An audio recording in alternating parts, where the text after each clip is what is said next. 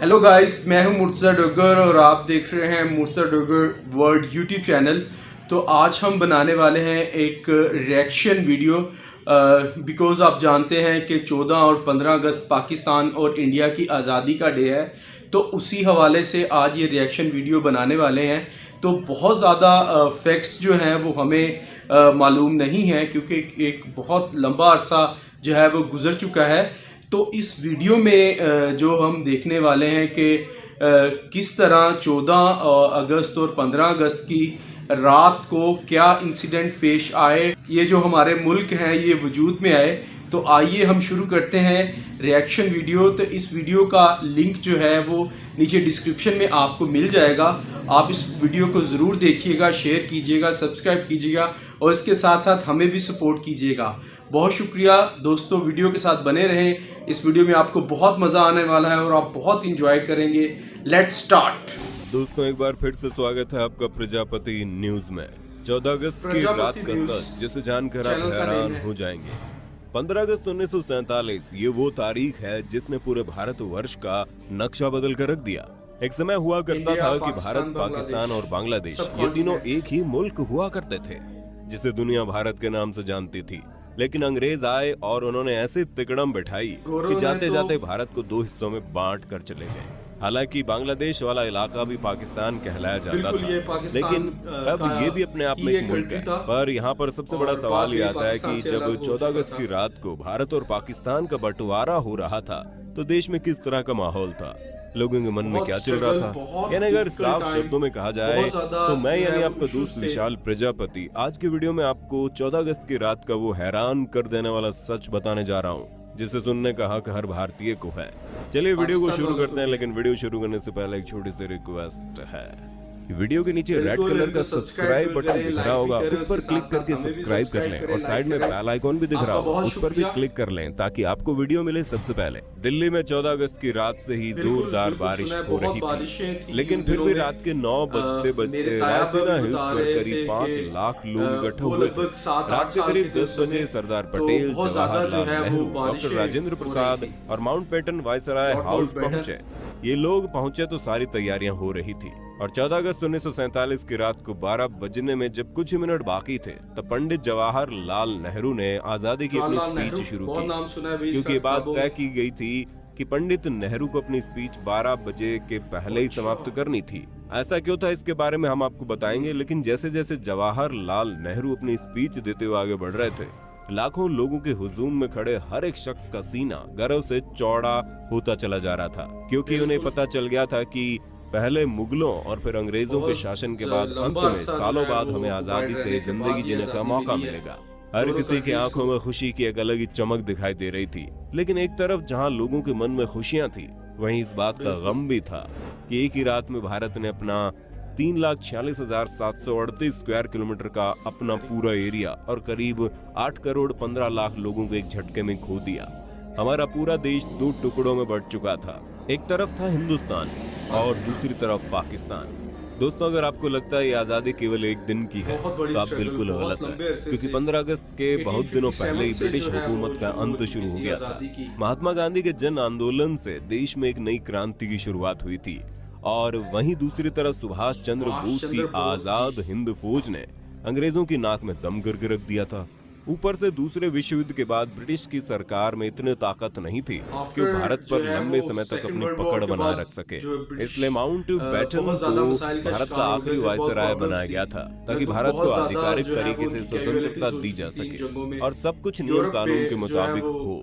वैसे तो अंग्रेज़ों ने भारत को 3 जून 1948 को स्वतंत्र घोषित करने का निर्णय लिया था। लेकिन मोहम्मद अली जिन्ना की शर्त थी कि वो भारत का पहला प्रधानमंत्री बनेंगे वरना वो पाकिस्तान नामक अपना एक अलग मुल्क बनाएँगे। और वो अपनी इस अच्छा, बात पर इतना तो ज़्यादा अड़ गए कि देश में कई जगह पर सांप्रदायिक हिंसा शुरू हो गई थी। अब इस तरह की परिस्थिति को देखकर अंग्रेज़ समझ गए थे कि जितना ज़्यादा यहाँ पर वो चीज़ों को संभालने की कोशिश करेंगे उतनी ज़्यादा परिस्थिति खराब होती चली जाएगी। इसलिए अंग्रेज़ों ने फैसला किया कि जितनी जल्दी हो सके उतनी जल्दी भारत को स्वतंत्र राष्ट्र घोषित कर दिया जाए ताकि वो यहाँ से छुट्टी लेकर अपने मुल्क वापस लौट तो सके। अब आपके दिमाग में ये सवाल कभी न कभी तो चला ही होगा कि आखिर स्वतंत्रता के लिए पंद्रह अगस्त का दिन ही क्यों चुना गया? तो दोस्तों केवल हम भारतीय शुभ और अशुभ जैसी चीज़ों में नहीं मानते थे बल्कि अंग्रेज़ भी इन चीज़ों को उतना ही ज़्यादा मानते थे।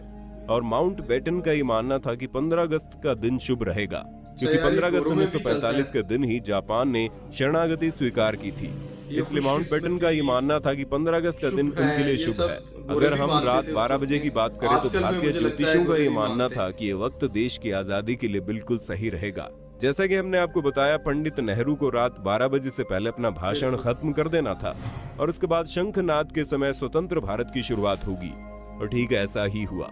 15 अगस्त सुबह आठ बजकर तीस मिनट पर जवाहरलाल नेहरू और उनके पूरे कैबिनेट ने पद और गोपनीयता की शपथ ली। रात में लगातार बारिश होने के बाद सुबह आसमान बिल्कुल साफ़ था। और लोग लाखों की संख्या में इस बात का बेसब्री से इंतज़ार कर रहे थे कि वो आज़ाद भारत के तिरंगे को लहराते हुए पहली बार देखेंगे।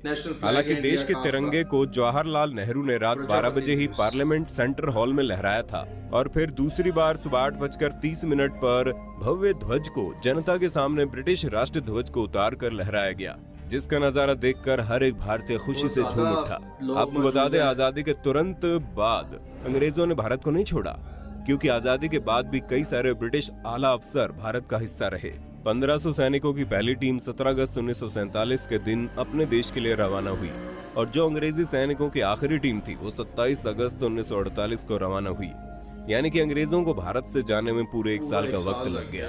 पर दोस्तों इन सभी चीज़ों में सबसे ज़्यादा हैरान करने वाली बात तो ये थी कि अंग्रेज़ों ने पहले तो हमारे भारत को पूरी तरह से बर्बाद कर दिया और फिर बंटवारे के टाइम ऐसा अपनापन दिखाने लगे कि भारत ही भूल गया कि इन्होंने हमारे देश के वीरों का क्या किया था। तभी तो जब अंग्रेज़ों की आखिरी टीम जा रही थी तो लोगों ने इन्हें ऐसे विदा किया जैसे कोई मेहमान हो। इनकी आखिरी फौज ने जब मुंबई के बंदरगाह से विदाई ली तो विदाई देने वाला गीत बैंड बाजों के साथ बजाया गया। ठीक उसी तरह जिस प्रकार पहली बार अंग्रेज़ भारत में कारोबार करने के बहाने से आए थे तो उनका स्वागत किया गया था और कारोबार करते करते वो इस भारत को अपना बना ले गए कि वो राजा और हम गुलाम बन गए। करीब 200 सालों तक गुलामी की जंजीरों में बंधे रहने के बाद आज हम आज़ाद हैं। इसकी सबसे बड़ी वजह वो स्वतंत्रता सेनानी है। जिन्होंने हमें आज़ाद कराने के लिए अपनी जान न्यौछावर कर दी। हमारे इस वीडियो के माध्यम से हम उन सभी को सलाम करना चाहते हैं। अगर आप भी ऐसा करना चाहते हैं तो कमेंट में जय हिंद लिखना न। देखिए कितना मुश्किल जो है वो वक्त था। दोस्तों आपने देखा कि किस तरह 14 और 15 अगस्त की दरमियान में जो भी जो सिचुएशन थी दोनों कंट्रीज़ की वो आपके सामने है। तो एक्चुअली यार हम बड़े अरसे से जो है वो सब कॉन्टीनेंट में इन्वेडर्स आते रहे हैं, बाहर से लोग आते रहे हैं गवर्नमेंट करते रहे हैं हुकूमतें चलाते रहे हैं, महसूलत वसूल करते रहे हैं, लेकिन यहाँ के लोगों ने जो है वो एक बहुत लंबा अरसा जो है वो ग़ुलामी में गुजारा। बिल्कुल जिस तरह इस वीडियो में बता रहे थे कि मुग़लों और तुर्कों रानियों बहुत सी कौमों ने यहाँ पे राज्य किया है हिंदुस्तान में। तो अब हमें ये दोनों कंट्रीज़ को, दोनों मुल्कों को ये सोचना चाहिए कि किस मुश्किल और किस जदोजहद की स्ट्रगल के साथ हमने ये दोनों जो है वो मुल्क हासिल किए हैं, देश हासिल किए हैं। तो हमें चाहिए कि हम आपस में जो है वो हारमनी के साथ, एक दूसरे के साथ कंपटीशन ज़रूर करें, लेकिन वो डेवलपमेंट में करें, वो रिसर्च में करें, वो मैन्युफैक्चरिंग में करें। और दोनों मुल्कों को यही चाहिए कि वो अमन को कायम रखें और अपनी आवाम के ऊपर तोज्जो दें, अपनी जो जनरल पब्लिक है, उनकी वेलफेयर के लिए काम करें। तो बहुत शुक्रिया आपका मुर्सर वर्ल्ड यूट्यूब चैनल देखने का। इसी तरह बने रहिए, हमें सपोर्ट करते रहिए। आपकी सपोर्ट की बहुत ज़रूरत है और इस चैनल को सब्सक्राइब का बटन जो है, वो रेड कलर का नीचे आपको दिख रहा होगा। इसको जो है, वो क्लिक कर दें और ऑल की ऑप्शन को सिलेक्ट कर लें।